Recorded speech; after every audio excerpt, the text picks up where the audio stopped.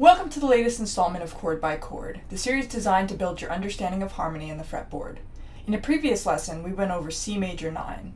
In this lesson, we're going to go over three more major 9 chords, A major 9, E major 9, and F major 9. Now, if you remember, a major 7th chord is built from the 1st, the 3rd, the 5th, and the 7th from a major scale. To make a major 9 chord, you simply add the ninth. Example 1 shows us the notes in an A major 7 chord. The notes are A, C sharp, E, and G sharp.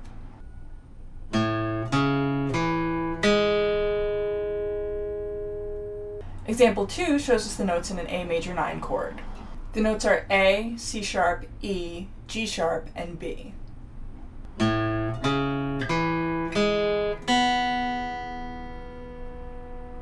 Example 3a shows us how to get to an A major 9 chord from an A major 7th chord using open chords. All you have to do is lift one finger.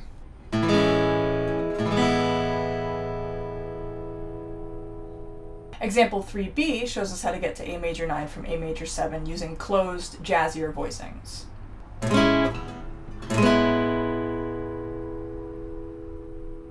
Now moving on to E major 9, example 4 shows us how to get to E major 9 from E major 7 using a couple of voicings in 7th position. Note that you could add the low open E string for a thicker sound.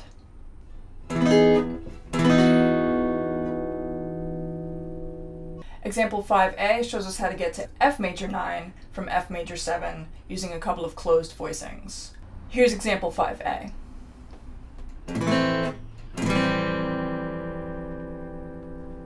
Note that the voicings in example 5a are movable shapes. So what we did is we simply took the voicing from example 3b and moved it down four frets from A to F.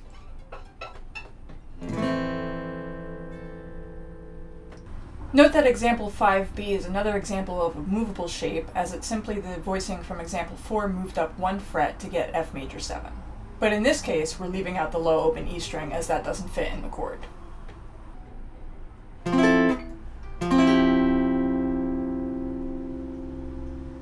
You should now know a variety of ways to play A, E, and F major 9 chords.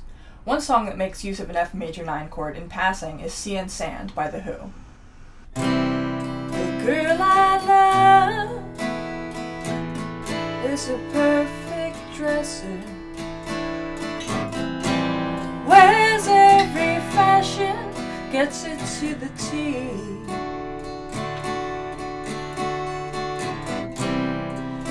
heavens above. I've got to match her. She knows just how she wants to be. Leave it to me. Thanks for watching. In the next lesson, we're going to revisit dominant ninth chords.